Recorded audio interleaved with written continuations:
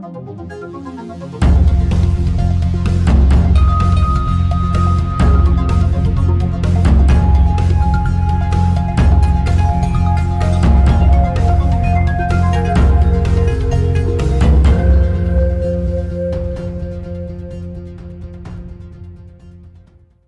सरकारले मङ्सिर अठाइसमा सङ्घीय संसदको अधिवेशन बोलाएको छ। भर्खर मात्रै केही अध्यादेश जारी गरेको सरकारले अकस्मात सङ्घीय संसदको दुवै अधिवेशन बोलाएसँगै यसमा चासो बढेको छ।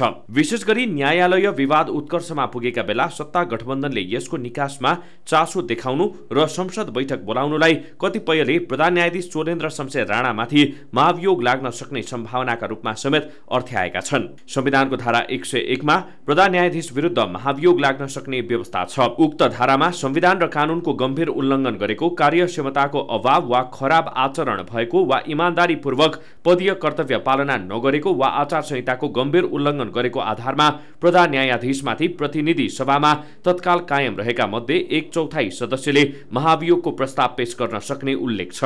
महाभियोगको प्रस्ताव पेश भएसँगै प्रधान न्यायाधीश निलम्बनमा पर्ने समेत व्यवस्था छ। तर प्रमुख प्रतिपक्ष नेकपा एमाले भने प्रधान न्यायाधीशलाई महाभियोग लगाउने विषयमा फरक धारणा राखिरहेको गरिरहेको छ। न्यायाधीशहरूले कार्यक्षमताको अभाव देखाउँछन् र खराब आचरण गर्छन्। त्यस्तो अवस्थामा महाभियोग दर्ता हुन्छ। असार अठाइस गतेको फैसलामा लेनदेन भएको थियो भन्ने कुरो त्यो फैसलामा संलग्न भएका मान्य न्यायाधीश र त्यसमा संलग्न हुनुभएका कानुन व्यवसायहरूबाट स्पष्ट रूपमा अहिले आइसकेको हुनाले त्यो फैसलामा संलग्न हुनुभएका प्रधान न्यायाधीश र न्यायाधीशहरू सबैलाई समान रूपमा नै महाभियोग दर्ता हुनुपर्छ।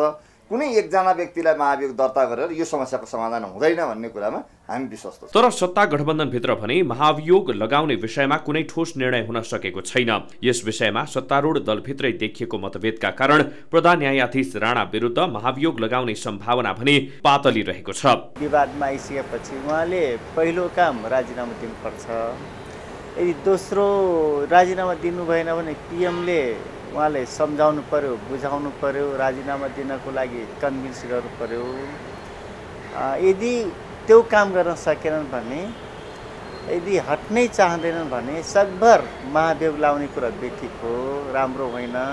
अहिले प्रतिनिधि सभामा राणा विरुद्ध महाभियोग पारित हुन प्रमुख प्रतिपक्षी एमालेको साथ अनिवार्य छ।